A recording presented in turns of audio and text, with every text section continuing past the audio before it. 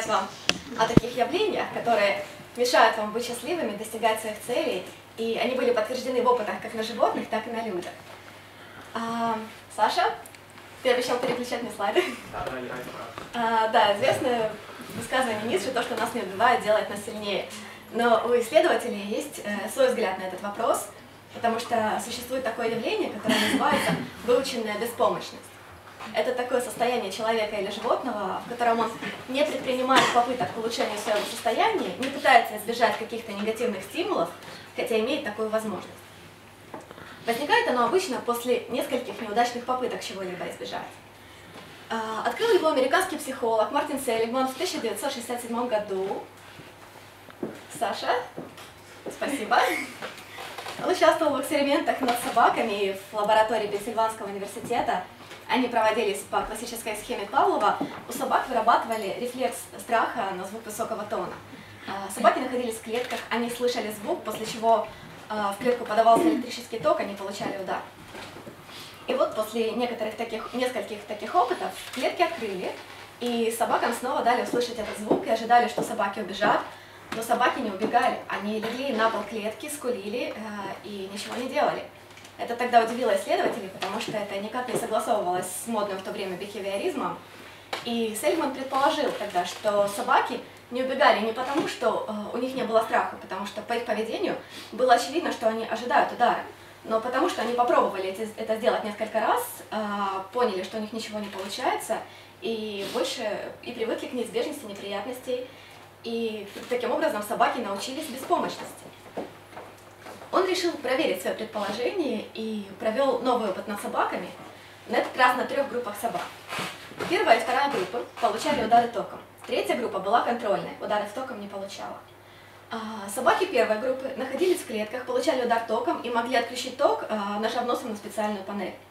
Собаки второй группы а, находились в таких же клетках, а, но ток у них отключался только когда, тогда, когда его отключала собака первой группы. Сами они не могли этого сделать. Получилось, что а, собаки первой и второй группы получали одинаковые удары током, равной интенсивности в течение одинакового времени, но первые могли это контролировать, вторые нет. Третья группа ударов током не получала.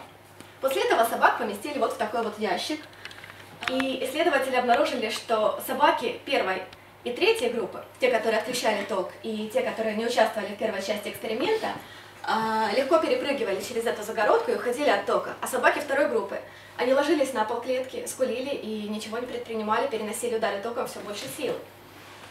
И э, для того, чтобы излечить их от этой выученной беспомощности, исследователям приходилось вот так вот физически поднимать собак, ставить их на ноги, двигать их ногами так, как будто бы они ходят, и проделывать это с каждой собакой минимум два раза.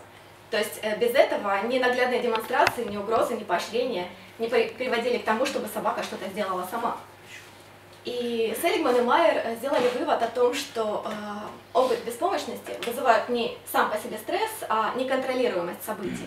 То есть животное становится беспомощным, если привыкает к тому, что от его активных действий ничего не зависит. После этого Дональд Хиротов в 1971 году проверил, работает ли этот механизм у людей. Он провел опыт э, тоже с тремя группами людей.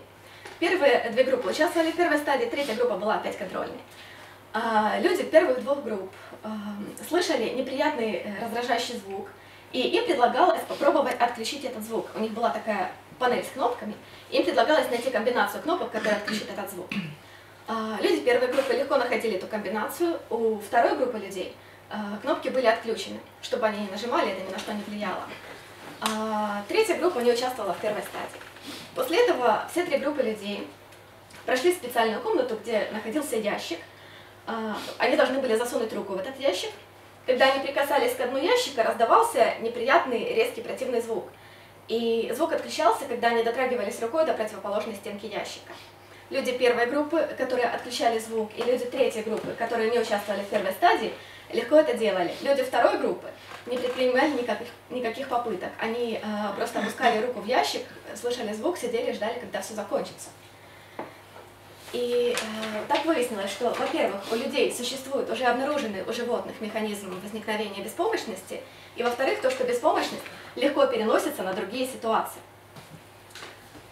Состояние выученной беспомощности вызывается неконтролируемым стрессом. Это означает, что должны быть такие условия или хотя бы одно из них. Это невозможность приспособиться к ситуации, невозможность ее избежать, невозможность ее устранить и невозможность предугадать, когда ситуация закончится или начнется. И в состоянии выученной беспомощности подавляется двигательная, эмоциональная э, и познавательная активность. Его основные признаки такие – это неспособность избегать нежелательных воздействий, интеллектуальная недостаточность, снижение агрессивности, формирование подчиненного поведения, сниженная социальная активность, увеличенная боязнь нового, э, утрата способности получать удовольствие, нарушение сна и даже иммунодефицит. Сейчас э, механизм выученной беспомощности рассматривается как один из ключевых факторов развития реактивных депрессий у людей. Есть предположение, что такая неоптимальная реакция возникла из стремления сохранить энергию. То есть э, животное пытается что-то сделать, чтобы избежать ситуации, у него это не получается, он предпринимает все больше усилий, у него возникает все больше стресс, и в конце концов ну, тратится все больше ресурсов организма, и в конце концов организм переходит в энергосберегающий режим. Потому что если продолжать дальше тратить силы, то можно потратить все силы умереть. А если просто замереть и подождать, то возможно, что плохое само закончится само собой. Это состояние обнаружили э, не только у высших животных, но у птиц, рыб и даже у тараканов и улиток. Например, проводили опыт с рыбами. Э, щуку поместили в аквариум, который разделили на две половинки прозрачной перегородкой, невидимой в воде. Щука была в одной половине аквариума, а другую половину аквариума заполнили мелкой рыбой, которую щука обычно ест. Щука попробовала напасть на рыбу, э, ударилась о перегородку.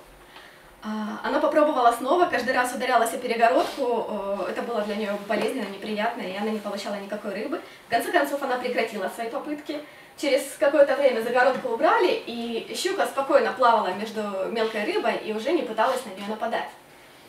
Еще один опыт с крысами. А, в одном из опытов двух крыс помещали в клетки с поилками. Крыса первой группы а, могла подать воду из поилки, нажав на специальную педаль. У крысы второй э, клетки педаль была отключена, и вода появлялась тогда, когда на педаль нажимала крыса из первой клетки. И вот э, через неделю, получается, что они получали одинаковое количество воды, но одна крыса контролировала это, вторая нет. Через неделю такого режима у крысы второй клетки развились все симптомы выученной беспомощности. Притом у животных э, не было никаких признаков обезвоживания. То есть э, основным стрессирующим фактором э, была не жажда, а именно сам фактор неконтролируемости. Раздражение должно наноситься нерегулярно. Только в этом случае стресс будет непредсказуемым и, следовательно, неконтролируемым. И, наконец, стресс не обязательно должен быть связан с чем-то болезненным. Это установила еще Наталья Шенгер-Крестовникова, ученица Павлова, в 1913 году. Она проводила опыты над собаками по развлечению стимулов. А, собаке предлагалось э, различать круг и эллипс. Когда собака узнавала круг, она нажимала носом на кнопочку, получала мясо. Эллипс ничем не поощрялся. И все шло хорошо, пока соотношение оси эллипса было достаточно большое, 2 к 1. Собака легко их различала. Потом исследователь стала постепенно приближать эллипс по форме к кругу. И вот когда соотношение э, осей эллипса достигло 8 к 9, собака перестала их различать. И она перестала понимать, когда ее поощряют, а когда нет. И через две недели таких попыток у собаки произошло то, что можно было бы назвать нервным срывом. Она потеряла уже выработанный навык развлечения круга и вытянутого эллипса. Она стала беспокоиться и отказываться от еды. При этом на собаку не действовали ни боль, ни голод. Каждый вечер ее э, кормили виварии, независимо от того, насколько успешно она выступала в экспериментах днем. Единственным стрессирующим фактором э, был сам факт неконтролируемости того, что она не понимала связь между своими действиями и событиями внешнего мира. А что же спасает от выученной активности? Это действие, активность и контроль, проявление воли. Притом это э, любые действия и любой контроль. Если основной фактор э, контролировать не удается, то от выученной беспомощности спасает смещенная активность. Проводили опыт. Крысу привязывали за лапки и оставляли в таком положении на спине на полчаса. Крыса испытывала стресс, но э, половине групп крыс э, предлагалось при этом грызть палочку. И вот те крысы, которые грызли палочку, у них проявления стрессорных реакций были намного менее выраженными. Крыса не могла избавиться от вынужденного положения, но она смещала активность, грызя палочку. А, выученная беспомощность быстро развивается у крыс, которых подвергали электрическому току а, в маленьких клетках.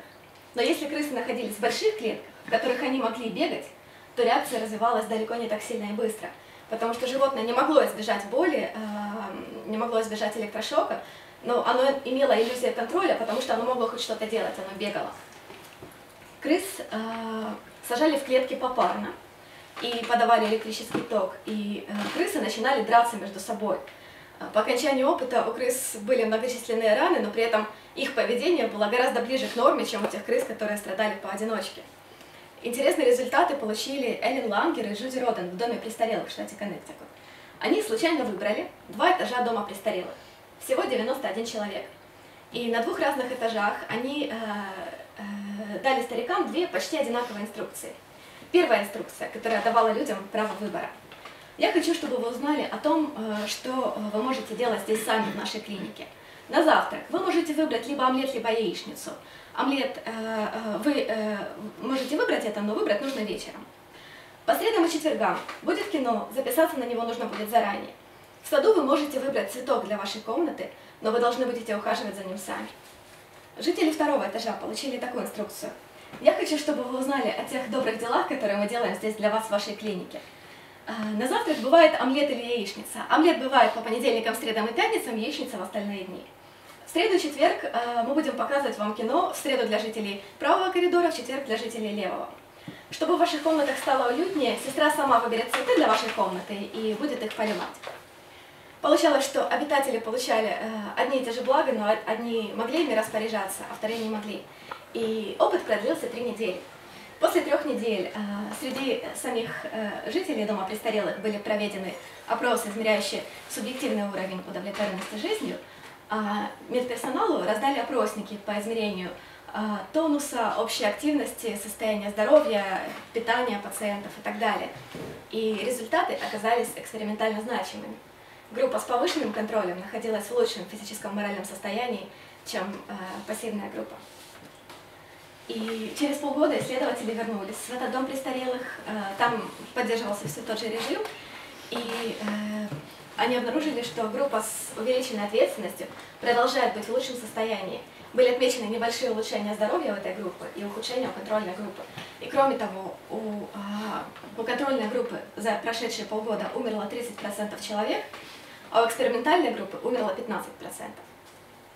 Другие исследователи показали, что в условиях невозможности выбирать а, пожилые люди могут проявлять саморазрушительное поведение, отказываться от еды и лекарств, потому что это единственное, что они еще могут выбирать.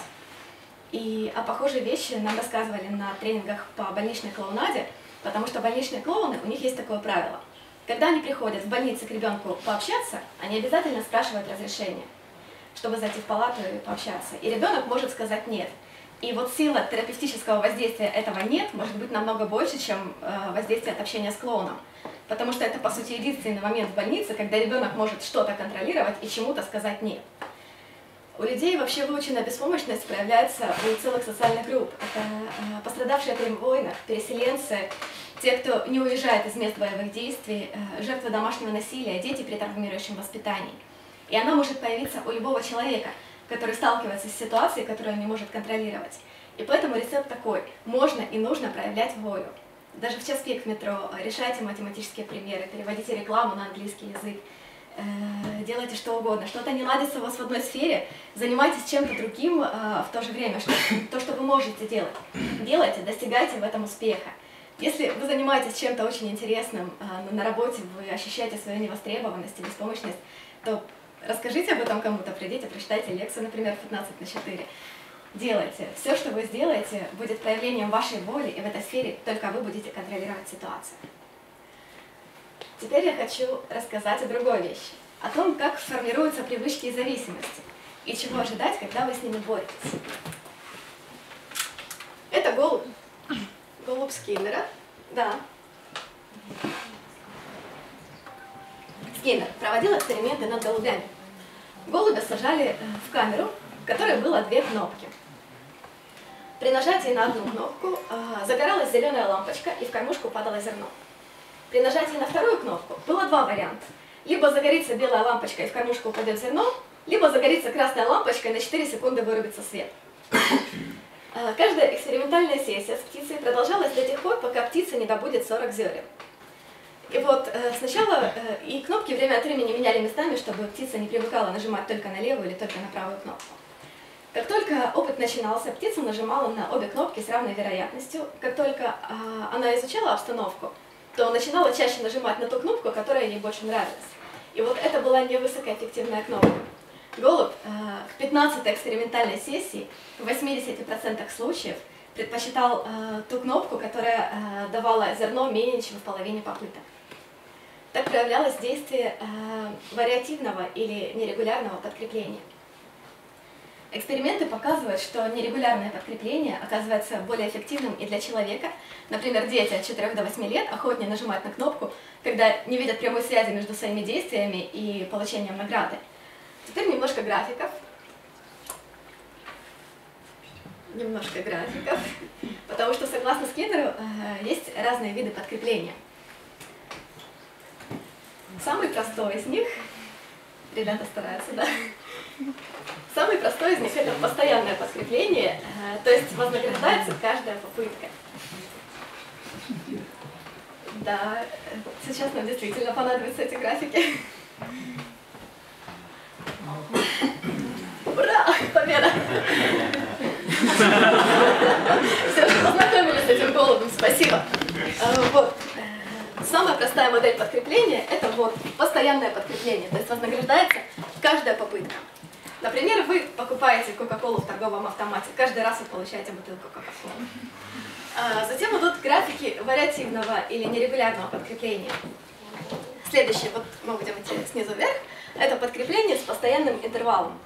То есть э, подкрепляются э, попытки через э, n интервал времени после выдачи предыдущего вознаграждения. Лабораторный пример – это крыса нажимает на педаль, и она получает награду э, после того, как прошло 15 секунд с выдачей предыдущей награды. Пример жизни – это зарплата, которая выдается раз или два в месяц. Затем э, подкрепление с постоянным коэффициентом. Значит, что подкрепляется каждая n попытка. Например, собери 50 крышечек, получи подарок. Э, подкрепление с переменным интервалом. Значит, что подкрепляются попытки в среднем с n интервалом, но в каждом конкретном случае неизвестно с каким именно. Э, например, это проверка почты и сообщений рыбалка. Вы можете поймать одну рыбу, а, следующую поймать через 5 минут, потом ничего не поймать за полчаса. Наблюдение метеоритных дождей. Вам сказали, что вы сможете увидеть метеор каждые 2 минуты. На деле э, вы приходите на улицу, смотрите на небо. Вдруг внезапно вы видите два метеора, потом вы еще 40 минут ходите, ничего не видите. А, затем подкрепление с переменным коэффициентом. Подкрепляется в среднем каждая n попытка, но в каждом случае неизвестно, э, какая именно. А, самый простой пример – это игровые автоматы. Вот это вот график э, количества попыток э, в зависимости от выдачи подкреплений. То есть вот этими черточками обозначены подкрепления. А по вертикальной оси столько, сколько попыток делали животные. Э, то есть получается, что здесь количество попыток на выдачу подкрепления было меньше, чем во всех случаях вариативного подкрепления. А это график угасания поведения в зависимости от времени. То есть вот в этот момент перестали выдавать подкрепление. При постоянном подкреплении животное достаточно быстро перестало делать попытки, во всех остальных случаях оно еще долго продолжало свои попытки. Еще раз, если мы получаем вознаграждение не каждый раз, а редко, то мы стремимся к нему еще сильнее. А если мы получали его редко и перестали получать его вовсе, то мы еще долго будем продолжать попытки. Самый известный популяризатор вариативного подкрепления – это Карен Прайер, автор книги «Не рычите на собаку». Она много лет занималась дрессировкой дельфинов и обнаружила, что неэффективно подкреплять вкусной рыбой каждый прыжок – потому что дельфин быстро привыкнет к этому и начнет прыгать как попало, лишь бы отделаться. Но если подкреплять рыбой э, время от времени только самые лучшие прыжки, то дельфин будет стараться всегда. Рекомендация по использованию вариативного подкрепления быстро распространилась по тематическим сайтам по дрессировке животных. Например, подчеркивалось то, что э, люди могут использовать это неосознанно и во вред воспитанию. Например, могут давать собаке кусочки со стола раз в неделю, думая, что они отучают собаку выбрашивать кусочки, но на деле они сильнейшим образом будут поддерживать эту привычку. А, постоянное подкрепление необходимо на начальных стадиях обучения. Там оно обязательно, потому что обучающемуся нужно сформировать э, четкий паттерн поведения, и для этого ему нужна четкая обратная связь. Но как только поведение уже сформировалось, нужно отказаться от постоянного подкрепления и перейти к переменному с непредсказуемым случайным интервалом. Еще примеры жизни. Например, у вас есть э, хорошая новая машина. Она стабильно заводится каждый раз. Вот утром вы садитесь в машину, поворачиваете ключ, ничего не происходит. Вы, скорее всего, сделаете еще несколько попыток, после чего вы позвоните механику. Но если у вас вместо машины старая консервная банка, которая заводится у вас изредка, э, и она вдруг не завелась, то, скорее всего, вы еще долго будете продолжать попытки полчаса или больше, потому что ваше поведение по поворачиванию ключа э, подкрепляется в низковероятностном режиме. Еще пример.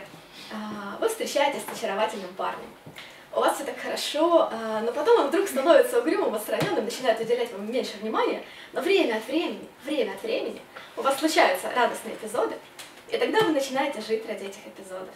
И чем реже и нерегулярнее становятся такие моменты, тем сильнее их подкрепляющие эффекты, тем дольше ваша линия поведения будет продолжаться. И кроме того, а, человек, который был в таких отношениях, часто после этого испытывает сложности в отношениях с более уравновешенными людьми, потому что ему не хватает остроты вот этого редкого и поэтому вдвойне ценного подкрепления. Действенность вариативного подкрепления лежит в основе всех азартных игр. Мозг очень хорошо умеет ждать и надеяться, и чем больше мозг верит в то, что вот-вот случится что-то хорошее и приятное, тем сильнее он будет к этому стремиться и прикладывать больше усилий. Режимы с длительными интервалами работают против вас, когда вы хотите угасить поведение – Потому что если поведение не подкреплять совсем, то рано или поздно оно угаснет. Но если подкреплять его время от времени, при том неважно, насколько редко, одна рюмка, одна сигарета, то оно будет продолжаться еще очень долго и будет, наоборот, усиливаться режимом с э, большими интервалами между подкреплениями. Теперь я подробнее расскажу о том, как поведение угасает. Вы садитесь на диету, вы устраняете награды из своей жизни, вкусную калорийную еду, вы начали читать этикетки, покупаете фрукты и овощи, записались в тренажерный зал. Все вроде бы идет хорошо. Вам кажется это так просто. Но вдруг вы э, думаете, э, не съесть ли вам одну конфетку? Вы съели конфетку, вы идете домой с работы, думаете, я куплю пакетик чипсов. Ну, раз я купил пакетик чипсов, то еще один стаканчик мороженого уже ничего не изменит, и день заканчивается катастрофическим обжорством. Как показывают исследования, Угасание поведения часто сопровождается так называемым взрывом, вспышкой. Это временное увеличение частоты, продолжительности или интенсивности угасающего поведения. А, другими словами, поведение ухудшится, прежде чем улучшится. Животное или человек продуцирует больший объем поведения а, в надежде добиться все-таки той реакции, к которой оно привыкло. Например, голубя приучили клевать кнопку за вознаграждение, потом кнопку отключили. Голубь сначала попробовал ее клюнуть, ничего не произошло, тогда он стал клевать ее чаще и сильнее, чем раньше, только после периода такой бурной активности поведение пошло на спад. Эволюционное значение вот этого всплеска активности а, может быть таким, что животные, которые не отказывались от попыток сразу, а продолжали попытки, а, несмотря на отсутствие немедленного вознаграждения, все еще имели шанс получить награду и таким образом получили преимущество. Очень интересно это описал Сет Слейтер, дрессировщик дельфинов, он работал э, с дельфином по имени Лиза, и Лиза имела плохую привычку прыгать тогда, когда это от нее не требовалось. Предыдущий дрессировщик подкреплял это поведение, но новый тренер решил избавить ее от этой привычки и просто перестал это подкреплять. С точки зрения Лизы, это выглядело так, как машина, которая отказывается заводиться. Поэтому Лиза сделала то, что сделал бы любой здравомыслящий дельфин. Она стала стараться еще больше. Она прыгала выше, потом она прыгала низко, Потом она прыгала и издавала звуки. Потом она начала прыгать сериями. Два прыжка, никакой рыбы. Еще два прыжка, никакой рыбы. Три прыжка, никакой рыбы. Пять прыжков, все еще никакой рыбы. И она повторяла эти серии низких, высоких и повторяющихся прыжков снова и снова в течение целых недель. И только после этого поведение пошло на спад. То же самое происходит с вами, когда вы пытаетесь отказаться от старой привычки. Перед этим вам сносят крышу. Это последняя попытка самых древних частей вашего мозга все-таки получить награду во что бы то ни стало. Вы привыкли подниматься на лифте. Вы подходите к лифту, нажимаете кнопку, лифт не приезжает. Вы начинаете нажимать ее снова, вы постучите по дверям лифта, и только потом пойдете по лестницах. У вас завис компьютер, вы начинаете нажимать на что попало, стучите по столу и по клавиатуре. Чтобы отказаться от вредной еды, от э, курения, дурных привычек или онлайн-игр, вы должны быть готовы выдержать этот последний рывок вашего бессознательного. Э, если его выдержать, то привычка все-таки пойдет на спад, как это видно. И вы все-таки победите. Но там вас может ожидать э, еще одна ловушка – это спонтанное восстановление. Вы бросили курить, Вы уже давно не курите, вы не думаете об этом, вам не хочется курить. Вы приходите в гости к старому другу, с которым вы всегда беседовали за сигаретой. И ваша рука сама потянулась к пачке, вы этого даже не заметили. У вас произошло спонтанное восстановление. Это тенденция поведения восстанавливаться э, в ситуациях, которые были похожи на те, в которых оно формировалось. Кроме того, э, даже не обязательно это должна быть похожая ситуация. Еще Павлов э, показал в опытах над собаками. Собаки. Э, у собаки вырабатывали условный рефлекс выделения слюны в ответ на обусловленный сигнал. После этого ей показывали этот сигнал э, 6 раз в течение трех минут, без подкрепления. На шестой раз собака перестала выделять слюну. После этого в эксперименте сделали паузу на несколько часов, и когда собаке после этого снова показали тот же э, сигнал, то собака снова начала выделять слюну. У нее произошло спонтанное восстановление рефлекса.